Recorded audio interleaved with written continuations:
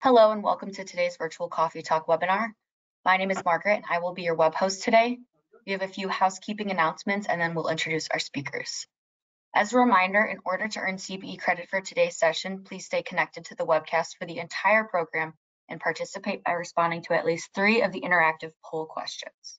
Secondly, there will be a course evaluation which will be open in a new window upon exiting the webcast at the end. With that, I'll introduce our speakers. Kevin Jacobs is a managing director with Alvarez and Marsal Tax in Washington, D.C. and the National Tax Office practice leader. He brings more than 15 years of experience in tax matters in both the public and private sector. Stephanie Dowdy is a managing director with Alvarez and Marsal Tax in, in Houston. She brings more than 20 years of expert level R&D tax credit experience and is considered a technical expert in her field. Simon Bernstein is a managing director with the Global Transaction Tax Group of Alvarez and Marsal Tax LLC in New York his primary, primary areas of concentration are tax aspects of mergers and acquisitions. Sandra R. Brown is a principal of the law firm of Hochman, Salkin, Toscher, Perez, PC in Beverly Hills, California, where she specializes in criminal tax investigations, including, including and related to grand jury matters, court litigation, and appeals. Finally, Kevin DeYoung is a lead product manager with Wolters Kluwer Tax and Accounting. He will be showing us today how to find additional answers and resources using CCH Answer Connect. Thank you. Kevin, take it away. Great, thanks so much. And I'll, I'll let you all decide uh, which part of the presentation is the trick and which part is the treat. But when we thought about it being on Halloween, we figured what is a scarier topic right now than the employee retention credit. And that's why we felt we didn't even need to get dressed up for it because ultimately the the takeaway from today's panel is going to be it is not too late to possibly qualify for an employee retention credit. But with that said, you should do so with caution because there are a lot of mills out there pushing for these credits and the IRS has become knowledgeable of that. It's on their radar. And so what you'll see today, we're going to talk about what is the employee retention credit? How do you qualify? What is the IRS recent guidance dealing with moratorium of processing claims? How do you withdraw them? Possible whistleblower claims. Um, and then thinking about, well, I've now claimed this or I'm potentially claiming this, and how does it handle the M&A side of things? If I'm a buy side, sell side, what is being done on a diligence perspective? And then lastly, the IRS, as mentioned, is looking at this audits, penalties, criminal cases galore. And when you're thinking of employment taxes, you always have to be worried about, okay, is there trust fund liability or not? Um, how does that apply? What is being refunded and the like? So we have a lot to talk about today. Um, I'm really excited about it. Uh, as always, our, our panelists are, are, going to do their best to address as many questions as possible. Feel free to you know submit your questions, and if there's time, we'll, we'll happily address them. But with that, Stephanie, why don't we just start delving into what is the employee retention credit? That sounds great. Thanks, Kevin. So what we're going to cover here today is, I, I don't want to spend a lot of time here because I think we all are pretty comfortable with what ERC is, right? So ERC is refundable credit filed against payroll taxes. It's meant, the, the intention of ERC was there to help businesses during COVID who continued to pay their employees. That was the important piece of this, right? So what we're looking for is that companies qualify one of two ways. Once they're qualified, they can capture credits. Two very different scenarios depending on the year. So in 2020, you were looking at a credit maximum of $5,000 per qualifying employee. In 21, it was $7,000 per quarter. You'll see here I'm talking about Q1 through Q3. I'm intentionally leaving recovery startup businesses out of this just because it is its own um, interesting scenario that's very different than this. The, the one sidebar I will say is for recovery startup businesses. Please be very diligent when you are looking at controlled groups, identifying things in the aggregate, predecessor businesses. These are all very important factors. You can't start a new business, already have three, start a new one and say it's a recovery startup business. If those other businesses have been around for years, have revenue, it has to be looked at together in certain scenarios.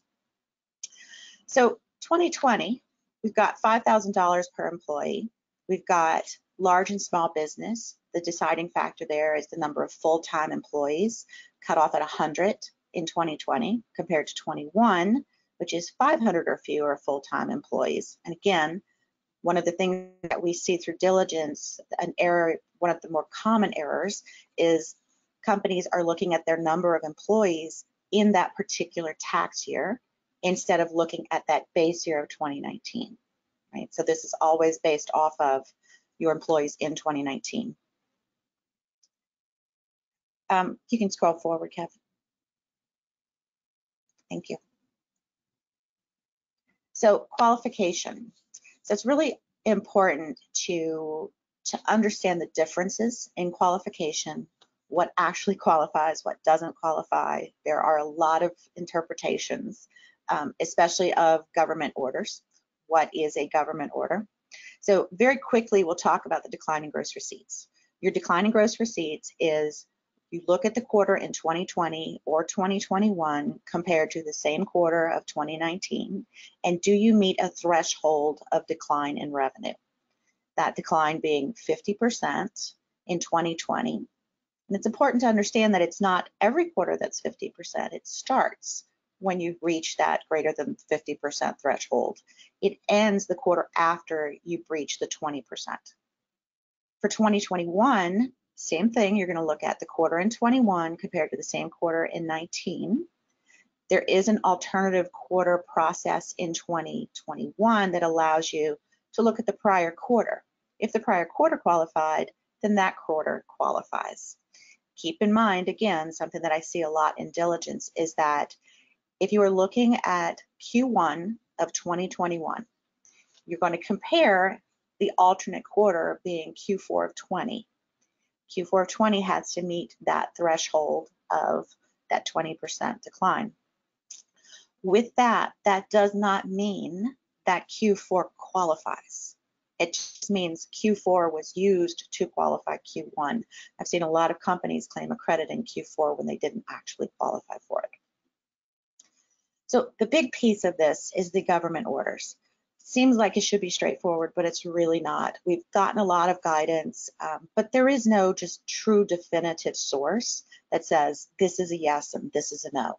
You really have to look at interpretation. You have to look at FAQs. You have to look at everything that the IRS has released, history, understanding, intent, uh, you know, to really make a decision as to what qualifies and what doesn't. I think probably the best way to look at this is a full or partial suspension of operations. Those are the key words here. You had to have had that. It doesn't mean that you had to wear a mask to work. It doesn't mean that you had to have a glass partition up. It means that you had to somehow fully close or partially close your business, suspend operations. That is a very different threshold than I had to occasionally clean, I had to wear a mask, you know, we had to, we had, our clients weren't interested in coming in any longer, right? Those are very different thresholds. So I'd say those are the ones that you want to pay the closest attention to and be the most thoughtful of.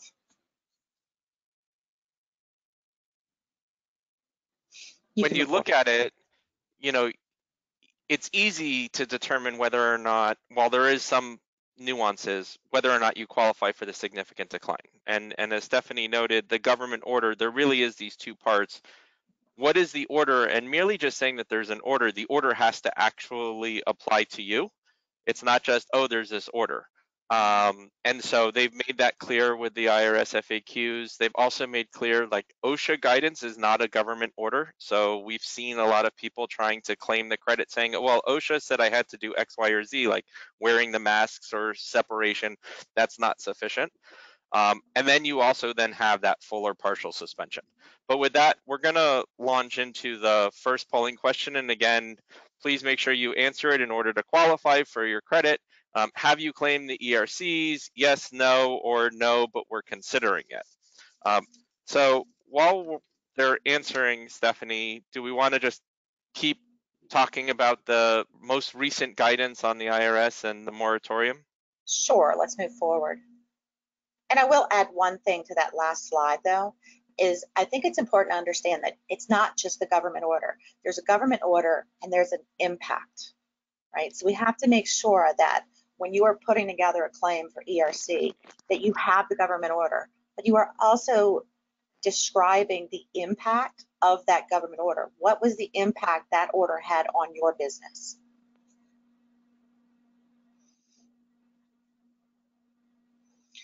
Okay, moratorium. Stephanie, if I I.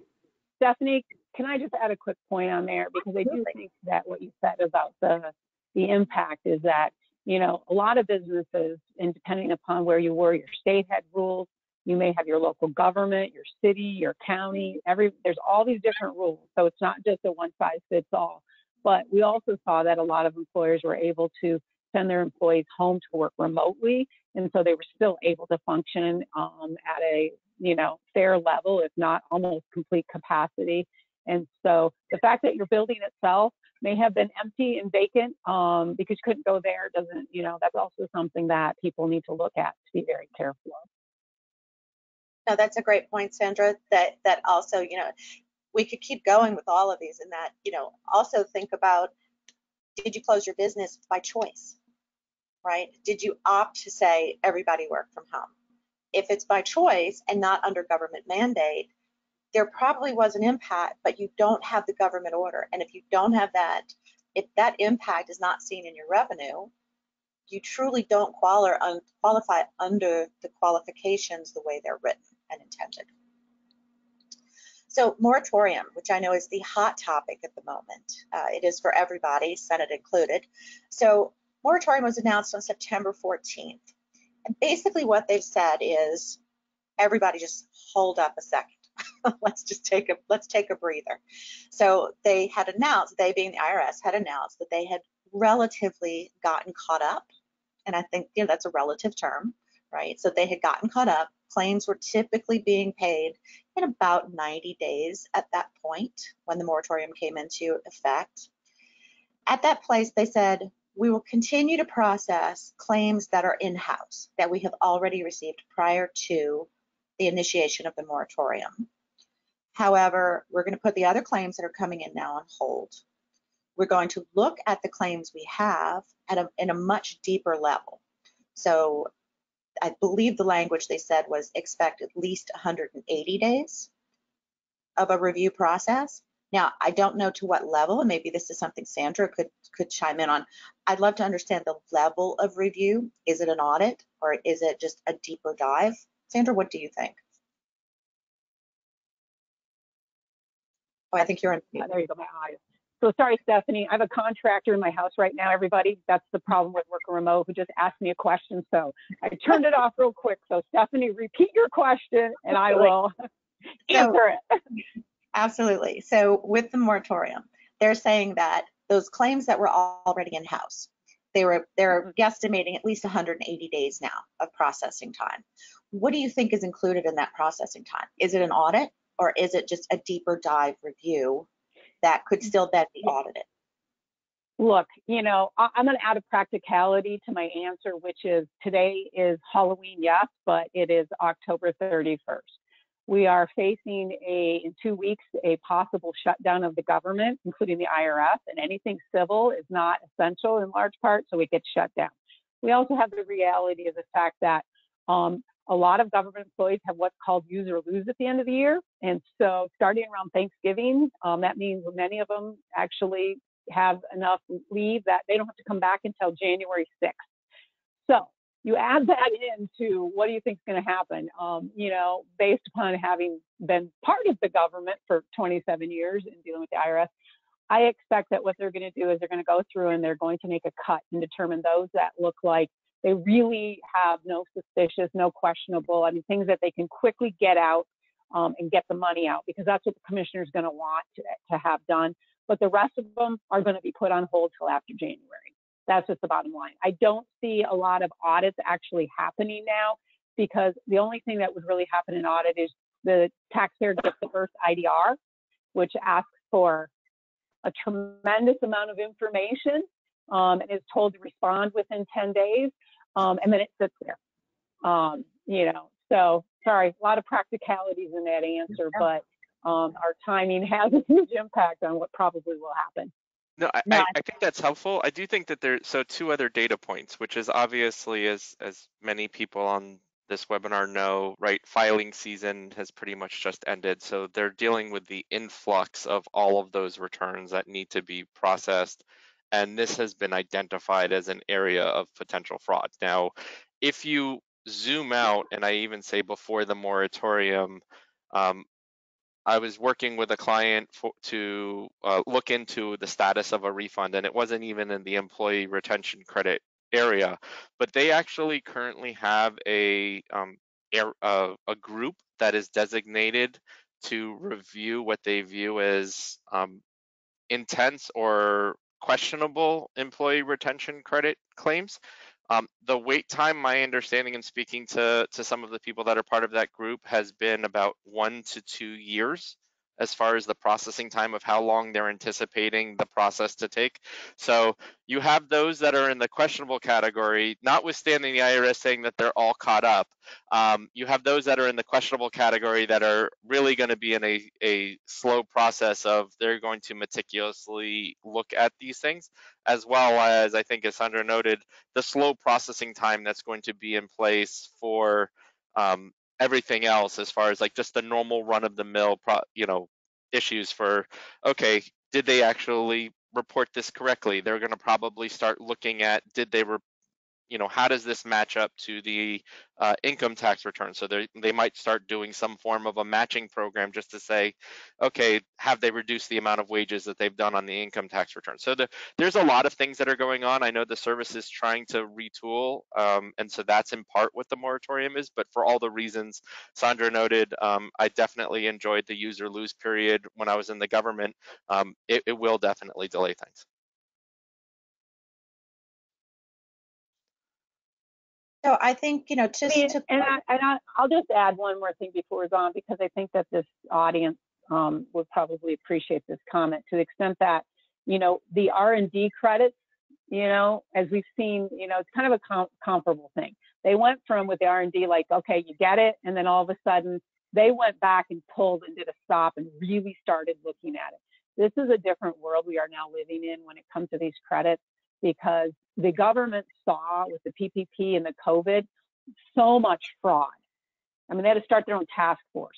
The IRS is now, you know, in a, I think in a different mode in regards to we need to stop the money before it goes out because this money is gone if it if it if there's fraud involved versus legitimate credits and legitimate employers are using the money properly. But if there's fraud, you know, it's the, the money's just gone. And so the IRS is, I think, really trying to address that. And so they're going to be much more cautious. and I think that really ties into the next slide in that we've they've made this change and this moratorium is is functional to a certain degree, but it also has some holes in it in that, you know, what happens with, you know, some of my questions on moratorium is what about the people who have cashed the check? What are their options? Which I know is something they're considering a, a new path coming later, per, according to the IRS this fall. And then also in mergers and acquisitions, which we spend a great deal of our time in, in the M&A world doing diligence in a transaction, you know, how does that impact the transaction? How does that impact the timing of the transaction? Are you having to respond to this differently maybe than we were before the moratorium. So let's launch into the, the next polling question of have you been impacted by the IRS's moratorium, yes or no? Um, in the meantime, we did get a, a, handful of questions. I'm trying to address them as quickly as possible. Unfortunately, there's not a list of government orders. That would be wonderful if there was one. But ultimately, as Sandra noted and Stephanie noted, you have to look at what was the order and who did it impact. Sometimes it could be a neighboring county, and so you don't qualify. So you really have to see what orders actually applied, and there is not a necessarily easy way to do it. Now, once you find a government order, you do have to say, okay, what was the impact on the business was a full or partial shutdown. And then we had a question of well what salaries qualify? And you have to start saying okay was they a, a large or a small employer right? As noted on the slide if you're a small employer everyone you know all salaries qualify as long as you were impacted. If you're a large employer it's only for the for the salaries that you paid to the employees who were not providing services. So you have to further, you know, figure out were you small, were you large, and then that dictates. So so it's not necessarily the the easiest of processes, but it is one of those things you sort of line by line like okay, did I did I have an order? Did it impact me? What was the impact of the order? Did it cause a full or partial shutdown? Was a large was I a large or small employer? If I was a small employer, great, I now know my number. If I'm a large employer, what information do I have to prove okay that I paid them and they didn't provide services? But I guess with that let me add to that also is that with that, another piece to keep in mind is if you were working under the government order, it doesn't mean that you qualify for the entire quarter unless that government order spans the entire quarter, right? So government orders have effective dates and end dates, and you can claim credit between those dates. You cannot go beyond. So it's also really important to make sure that not only you're gathering the copies of the orders, which the IRS will require, but that you were being very mindful of what date was it effective and what date was it withdrawn, what date did it end. So this list of questions, which I'm not going to read, I'm going to leave them here just so that you guys can take a look at them. But these were the questions that popped up from Senate. They wanted to know, great, you did this moratorium. What does that mean? How did you do it, number one, without us really conferring on this, and now answer these questions about how you intend to handle it, right? So a lot of these questions, I think, are very, very good questions. Uh, question eight, report illegal activities, fraud. They did come up with, uh, we'll call it a hotline, let's say. There is a way to report illegal activities, which we'll cover as we go forward. Um, question nine, legislative proposal to address fraud.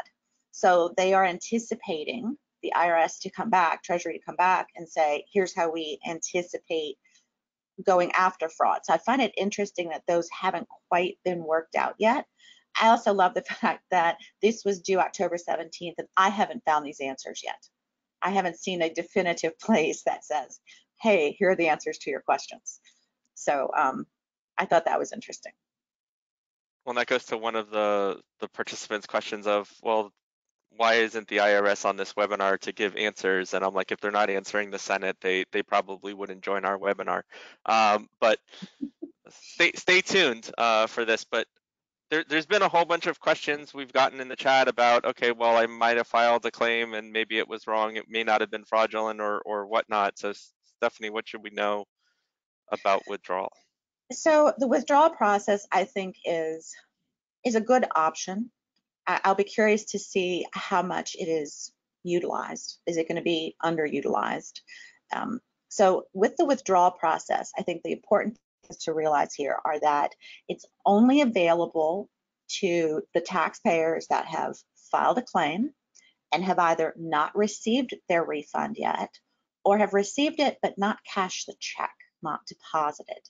So that's really important. So it oh, has eliminated everybody else. So if you got the check, cashed it, and it's just sitting there being held just in case, you cannot use this withdrawal process, right? We're waiting on another process in that instance. So with this withdrawal process, a couple things for me that I find interesting or would love to further understand is number one, in a transaction, can the buyer opt to perform a withdrawal, request a withdrawal?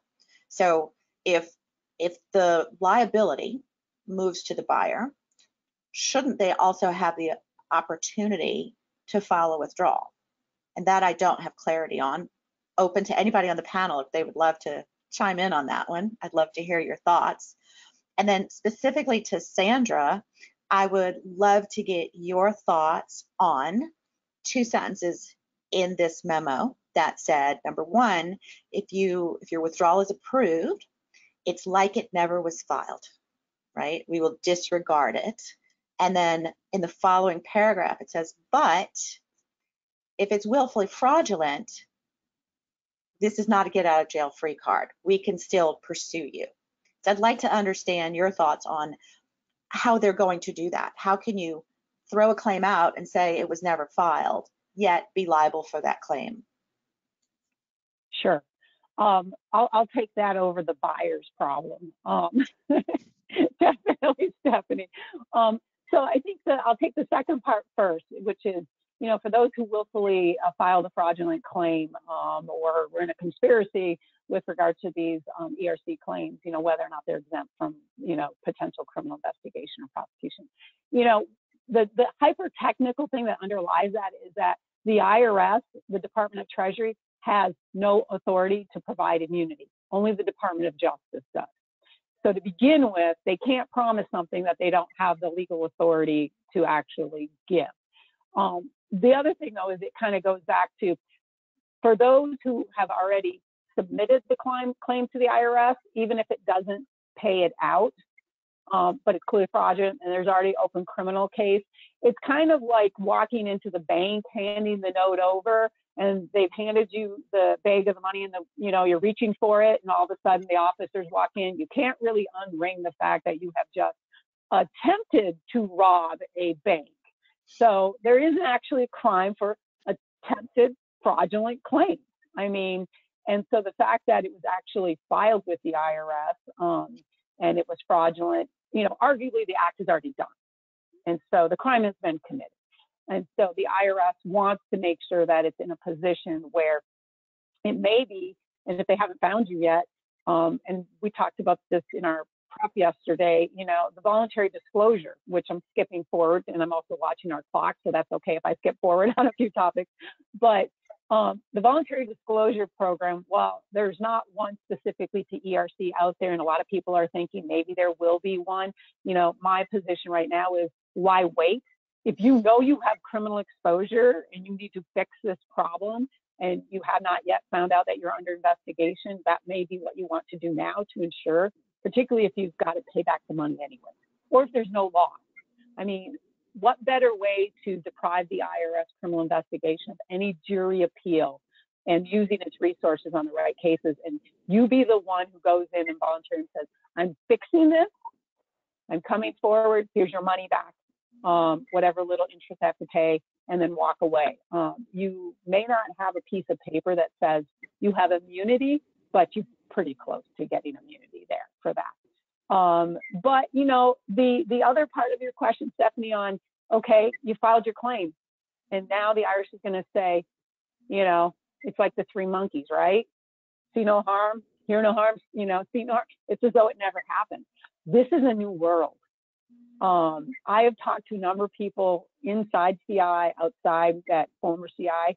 They're like, we've never seen this before, where in essence, it's a do-over um, with, you know, basically, you know, walking away. And I think that that is indicia of the fact that there's reportedly, as of last Friday, 800,000 ERC claims the IRS has not yet even touched.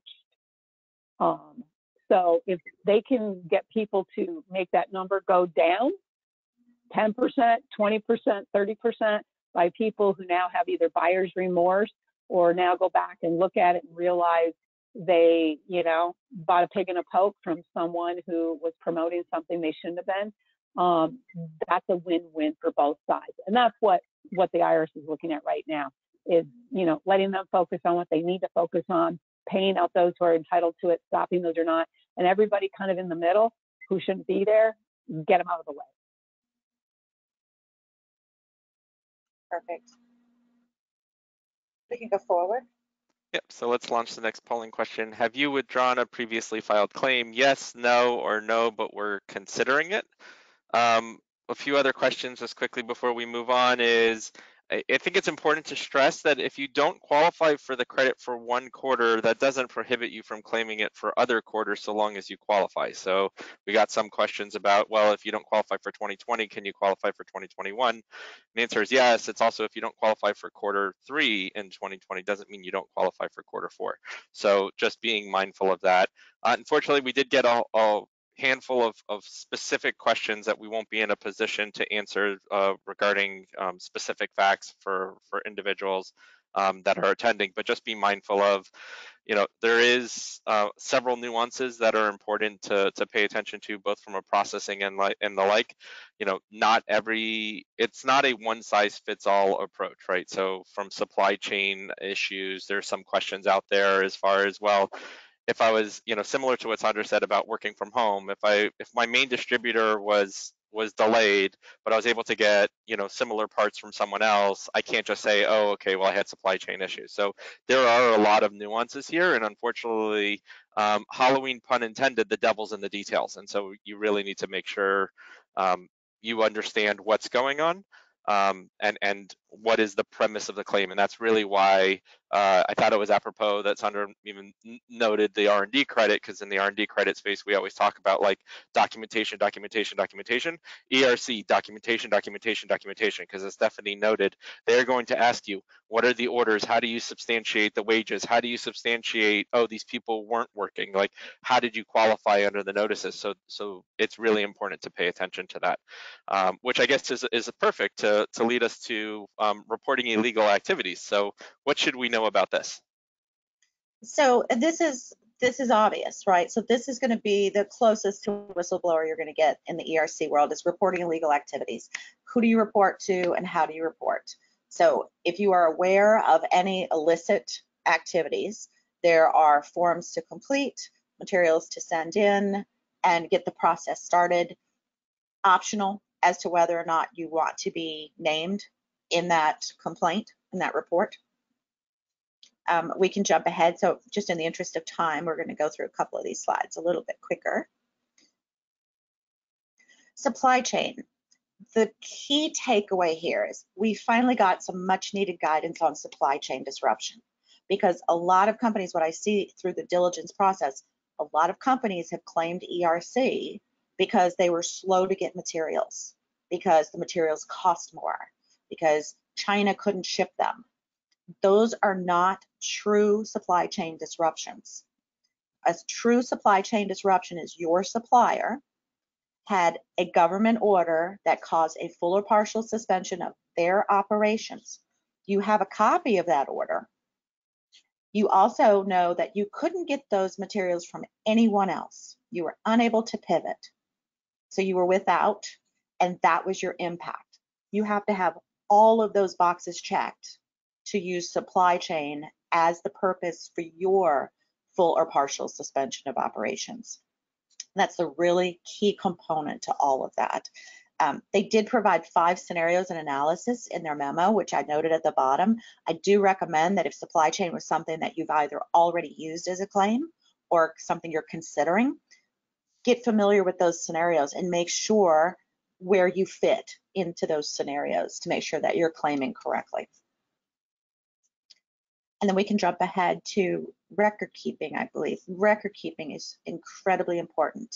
Um, it's important just not just for the IRS. In our, our little world of, of M&A in tax diligence and transactions, we want to see everything the IRS would ask for. This is a highly contentious area, right? These claims are, they just have inherent risk just claiming it, even if it's a decline in revenue there is just that potential for review that is greater than a lot of other areas. Have everything you could possibly need. That means copies of the orders, copy of the order that starts, copy of the order that ends it, so you can identify the dates. You know, this is all about qualification and quantification. You have to be able to, you know, as Sandra noted earlier, within 10 days, provide everything that the IRS asks for, and it will be at least this, this list. Uh, we had alluded to what's coming. What's coming is um, a couple things, right? So we've got the aggressive promoters. What is that going to look like? What, are, what is that? Um, gosh, I hate in in the uh, interest of Halloween. What is that witch hunt going to look like, right? So we'll have that piece, and then what happens with the people that we talked about earlier, the taxpayers who filed claims, deposited the checks, possibly use them, uh, what's happening with that? Can they, will they have a repayment system? You know, what does that look like? So we'll be curious to see how that shapes up later this fall. And I do recommend going to Taxpayer Advocate. That will give you just a little bit more information into some of the detail of the things that they've been discussing. And then we can take one step forward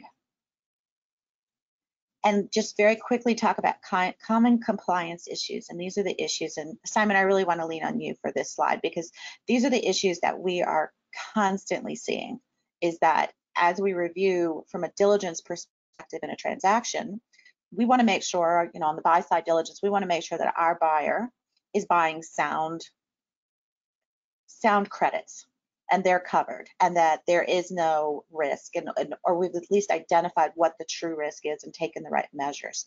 So those areas that we see the most are going to be that full or partial suspension of operations. Again, people are relying on CDC and OSHA. CDC gave recommendations. OSHA provided recommendations little words make big differences, right? So you have to make sure that there's a difference between a mandated closure and a recommended cleaning, right? So those are really important. Supply chain, which we've already talked about, the big problems with supply chain was not really understanding the level that you have to rise to to meet the threshold meaning it can't just be slow deliveries it cannot you can't buy the material from someone else, change to a different material, right? Even if you can change to a different material, but it works in a comparable manner, right? Comparable manner is one of those things you need to think about. You work remotely, is it comparable? You change materials, is it comparable? If you can continue to function as a, as a business, where's the line on the impact, right? You may have had the order, where's the impact? So Simon, I'm really gonna turn it over to you to talk about your piece of this diligence puzzle when it comes to ERC? Yeah, of course. Thanks, Stephanie. So, you know, in a normal in a normal transaction, and I would say we're probably seeing for target companies, you know, north of 50% of the companies have claimed an ERC. But you know, the starting point is obviously what has been claimed, you know, both by quarter and amount, and what's the basis of that claim. As Kevin alluded to, the gross receipts test is relatively straightforward, you know, maybe a little bit nuanced. There's control groups and things like that. But by and large, it's relatively straightforward.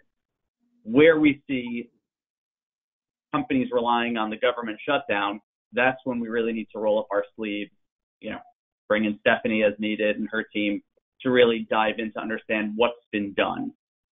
Um, obviously, the quality of the work and who's doing the work um, you know, is also a big indicator of how much risk we see. You know, someone relying on their incumbent tax advisor that's a reputable name to do the analysis rather than some of the mills and promoters that we've seen pop up. Um, you know, the latter obviously gives us a lot more concern in the context of, you know, what we're reviewing on behalf of our clients who are buying these companies. The status of the claim you know, certainly will influence not necessarily our concern with an issue, but how do you commercially navigate something with respect to, you know, has the cash already received versus the claim's been submitted but no cash has been received, or well, we haven't even pursued a claim, but we think it's there and we want to be paid for it. Um, lastly, just understanding whether returns have been amended um, you know, because obviously if the returns haven't been amended and they've otherwise taken a deduction for payroll taxes that needs to be fixed, um, certainly something that we need to be on top of as part of the uh, as part of the diligence process. Um, so how does this play into the commercial into the commercial, right?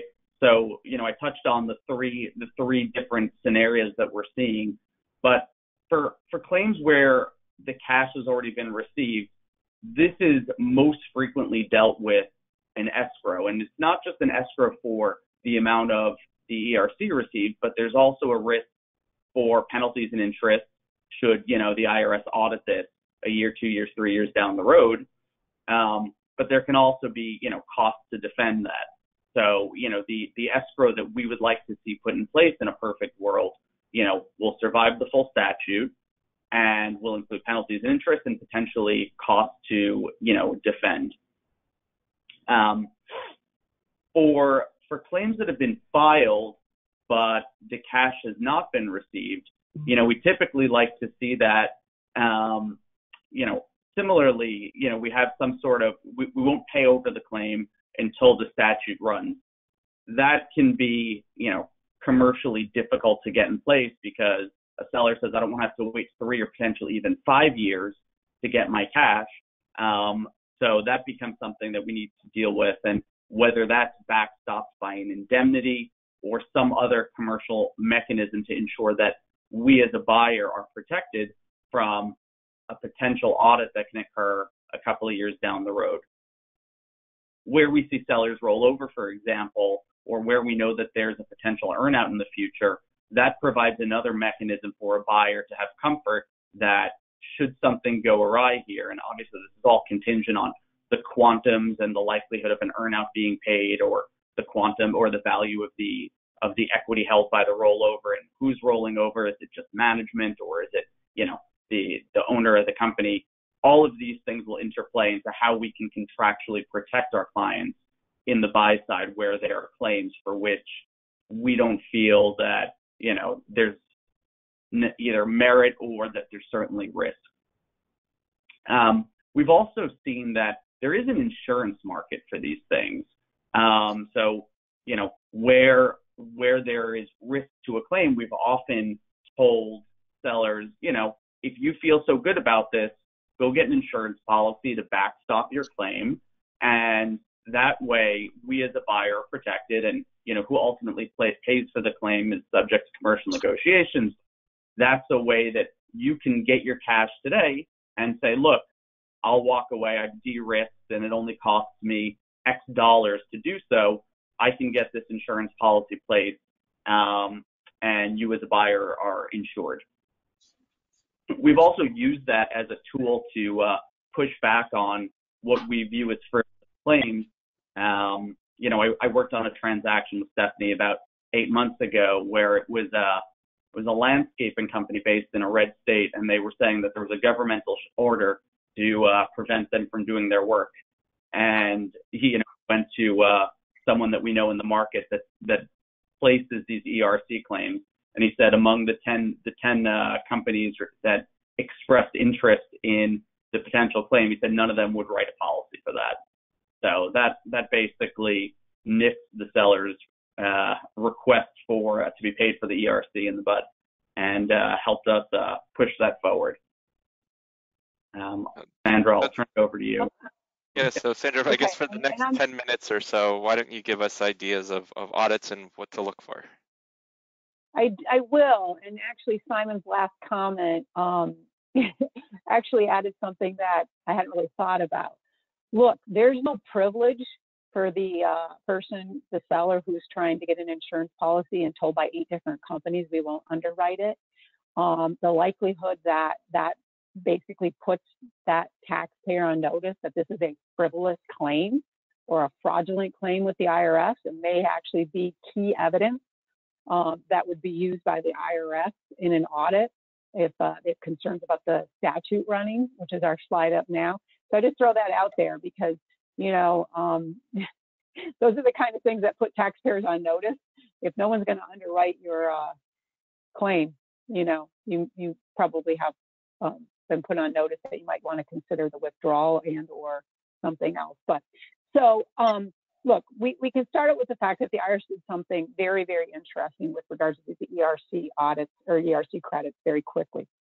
They sent out a ton of notices, probably more notices, almost on a monthly by every other month basis, um, letting you know taxpayers know we're concerned um, and, you know, they use the Dirty Dozen list, which is actually like 56 items, but um, they use that for the purposes of alerting um, taxpayers um, to scams, as well as alerting promoters to the fact that we're paying attention to different areas. So by placing the ERCs as number one in the 2023 Dirty Dozen list, they're really making a point. They've moved this right to the top. And you know, some of it may be because look, I mean, the IRS, um, because of all of its confidentiality rules, is is kind of in a catch-22 in regards to giving taxpayer information notice. Whereas uh, there's probably nobody on this call who hasn't seen an infomercial, received a robocall, Um, you know, right? I mean, you know, I think Snoop Dogg even has a promotion out there with regards to ERC credits. Um, you can go on and on and on. Um, probably there's somebody who actually was part of the military um, who will promote that as part of their, you know, you can trust me because, you know, I actually served in the military and I would only, you know, promote a ERC if it was legitimate. Um, and so that's hard for taxpayers. There's, there's a lot of technical stuff here and trying to figure out if I'm really entitled to this money. It's a lot of money. Congress had a purpose for it. They want to get the money out, but at the same time, you know, you as a taxpayer or representing taxpayers don't want to have clients in a position where, you know, the penalties and the interest and the payback um, basically ends up destroying the business now in 2024, 2025 that you tried to save, you know, with these ERC credits. There are a couple of things the government has done. Um, one of which is normally there is a three-year statute of limitations with regards to audit um, with regards to, you know, um, Q3 and Q4 of 2021, the statute has increased to five years, um, which means, you know, those are the qu quarters um, for anyone who has claims that are still outstanding and or been paid that probably won't be looked at until sometime next year in the latter part of next year because they're going to focus on the 2020 claims um, as priorities to make sure that they're not basically dealing with just simply, um, you know, three years versus fraud. Um, and, you know, when it comes to these audits, um, there is um, another thing that everybody should be aware of, which is um, the IRS basically has taken the position effective July 24th, um, 2023, with regards to section um, 3111, which is whether or not these are assessable penalties. They're basically treating these um, ERC credits if they were improperly granted um, or if the government determines they are, that these are immediately assessable penalties. Um, and by being an assessable penalty, that means you don't get your, you know, you don't get your stat notice, you don't get your notice of deficiency, you don't get your chance to kind of go through appeals and all of that. They can go right to collection, which means you are now dealing with CDP and going into tax court, okay, and trying to figure out is there an alternative remedy um, you know, um, or basically you're going to have to full pay before you can go in, you know, to district court on a refund case. So that is, um, as, as you know, the money aspect in defending it, as Simon was talking about, see, it's a very expensive, expensive proposition um, in regards to what, you know, basically taxpayers who did not get it right are going to be, you know, dealing with. Um, the you know, other thing that, you know, I think that to me, Stephanie, excuse me, got into, which is if you do find yourself under an audit or your client under an audit, um, they are going to be asking a lot of information. But one of the things that you really have to expect is they're going to want to know did you engage a promoter or preparer who got paid on a contingency fee? That in the IRS's mind is a red flag for fraud. Now, to a certain degree, most state bars actually for lawyers who do tax cases, they're ethically prohibited from taking a contingency fee in most of these cases. So there's a whole other underlying problem there. But by and large, things that typically you don't see the IRS asking for um, in audits, um, you know, they are going to get into things that, um, you know, go be- well beyond actually your gross receipts and the government orders and all of that. And they're going to want, you know, additional information, including the communications with your preparers and your promoters in that area. Um, the penalties, um, Kevin, um, you know, that next, you know, the penalties are basically the same here as they are in any kind of, you know, when you got it wrong um, and you got a refund you shouldn't have been entitled to, um, or you have an underpayment of your taxes. But I think the thing that you have to pay attention to here is that there are layers. It's not just your employment tax returns. You also have exposure on your income tax returns because there is the flow through. Um, and so it could be a double whammy in regards to um, the implications to you know the employers. And heaven help you if your if your company's an 1120S versus a C. So now you may have three sets of returns that may have tax liabilities that are implicated here as well as um, with regards to the, the penalties. Um, so now we can move on to the, I guess maybe the fun stuff in regards to um, the criminal investigation. There's probably nobody who is not potentially um, in the crosshairs of CI, um, other than the fact that they only have, I think, 21 special agents to investigate these cases. So, and they're on their own here. Remember, unlike COVID and PPP, that is an entire Department of Justice task force with law enforcement agencies everywhere. Um, so it's all the other three letter initials, you know, FBI, et cetera, and it's not just um, the IRS. Whereas in this case, pretty much the IRS is kind of on their own. Um, an individual um, employer who has filed um, returns that for ERCs um, that the IRS deems to be improper and that there was willfulness um, definitely could find themselves charged. Um, you know, there are some very easy charges there, um, and there's not just the false returns, but they're actually fraudulent um, claims. Um, and, you know, under a totally different code section besides Title 26, the preparers could be charged, CPAs, um, you know, with regard to individually, because there are individual um, tax, you know, um, crimes um, that can be charged, but they can also be charged as a conspiracy um, with regards to their clients. The promoters are going to be a different area that I think we are. I, I'm going to, you know, get up my crystal ball and say to everyone that we are going to see not only criminal cases, but we are going to see parallel injunction and promoter cases. Because um, in a civil case, if you go after promoters, um, the government can do what's called a disgor- disgorgement. So they can actually go after assets um, and not just, you know, nor- pursue the normal civil tax collection. Um, they can get a federal court order against promoters um, for basically disgorgement and a judgment against them for amounts that, um, you know, go into whatever it is that they have um, obviously um, not only earn themselves and their fees, but actually cause the harm to the government. And so I do expect, because we've seen that with the syndicated conservation easements, with the, you know, other areas where the government uses both tools. And so I should uh, say that we probably can expect that we're going to see that. Um, yeah, and, and we and have Sandra, seen, go ahead. So, sorry, Uh-huh. just to just to chime in, I'm being mindful of the the time. Um, you know, I do want to note for the participants, you know, that there are slides here that that go into some of the cases um, that we've seen, and and you know, just I'll put this up while you're, you know, you have some of your closing thoughts about tips for advising, so that way Kevin has the opportunity to to show us um, what to know from Answer Connect. So if you have any final closing thoughts on this, that would be great. You got it. So um, again, we do have, there have been criminal cases, and I'll just segue from that. There's been guilty pleas. The numbers are huge.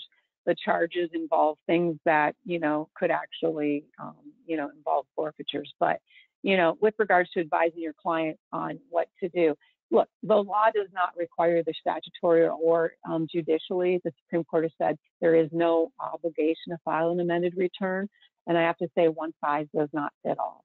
Um, I think that you have to be very careful in determining, um, you know, what the harm is, um, you know, and what your client's potential exposure is with regards to criminal or civil penalties. Um, but the reality is, is that if you have a client who has potential for um, criminal exposure, um, you know, the best way to get CI to not come knock on the door um, if they aren't already looking, is to basically get rid of the jury appeal. If the return has been fixed, if the taxpayer is in the process of making the government whole by making payments, either in whole or making, you know, installment payments, et cetera, and getting on board, um, that's really not the case. Um, I you know, juries juries don't get drug dealers, they don't get human trafficking, they don't get organized crime. They do get taxpayers who have returns that are not accurate because that's who they are. And so they need to be able to say, why are we here? Or I would have never done that. And so, you know, um, you know, giving the best advice in regards to amended returns, you know, again, is very, very individualized, but it is definitely something to consider. Well, thanks everyone for you know, listening to our presentation. I guess Kevin, we've covered a lot of material. Apologies for for going over our allotment. Um, but you're always great in showing us just how succinct um, Answer Connect is and showing us what we need to know. So um, I can see your screen of, of showing us Answer Connect. So what what should I know here?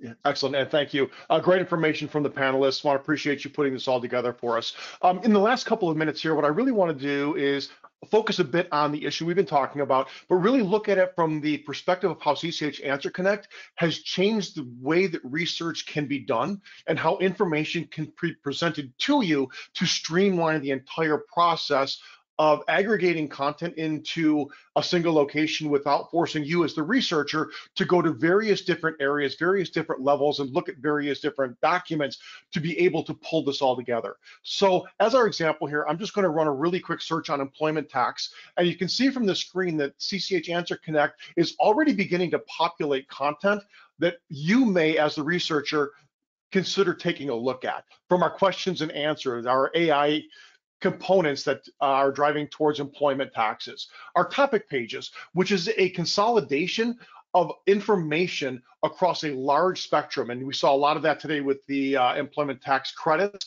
So there's a lot of information here. I'm actually going to jump directly into our employment tax credit topic page because as we heard, there were several pieces going on currently, uh, specifically regarding that notice that came out. Um, want to make sure that we can be able to show that to you here. And you'll notice one of the very first things we've done on this topic pages is make you aware that there's a compliant alert regarding this stoppage. Um, I've already opened this up just an effort to save a little bit of time here, but we actually link you directly out to the IRS page so you can take a look at this notice specifically. Going back into this topic page, you know, we've talked about a little bit about the um, tax credits in 20 and 21 and what are some of the requirements that are out there. We've brought that into this single topic page. We talked a lot about the employment employee tax credits. What does this mean? Is there a claim withdrawal process that you need to be aware of? Can you give further definition on the supply chain disruptions?